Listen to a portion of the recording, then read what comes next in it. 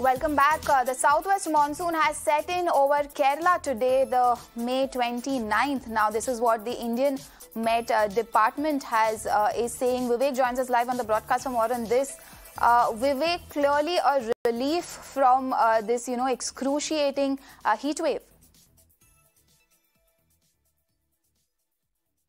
Exactly. Uh, in a major uh, respite from the scorching heat and, uh, you know, the, the, the, southwest monsoon has set in over the coast of Kerala today. Remember, the IMDS earlier predicted that this would set in by the 27th of this month, uh, which is uh, five days ahead, you know, before the, the correct date. That's on the 1st of June, which is the official date every year, which the southwest monsoon starts. But this time around, just three days before that day, that the southwest monsoon has finally set in in the coastal areas of Kerala. Remember, southwest monsoon is considered as a lifeline of the agri-based economy in this country, and this goes on for the next four months uh, from June, July, August and September. And this is going to be a major relief uh, for the agri-industry and the agri-economy, which uh, largely depend on the southwest monsoon. Uh, also, remember, uh, in the last uh, few months, if you look at the last two months, the, the rains, the southwest, you know, the summer rains in Kerala has been uh, you know, as comparatively very high as compared to the previous years.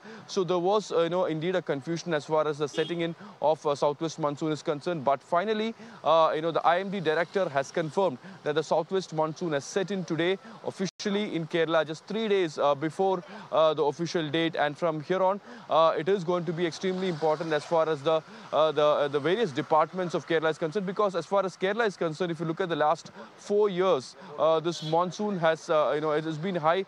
The monsoon has been very heavy and also, uh, you know, it has caused a lot of destruction and damage. And this time around, it is uh, predicted that it is going to be an average rainfall. And hence, uh, there is no such, uh, uh, you know, issues that has been uh, anticipated. It needs to be seen as this time around as comparatively to the last few years, how the southwest monsoon is going to be.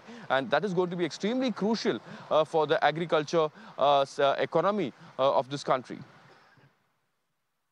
All right, Vivek, thank you so much for joining us and getting all those details.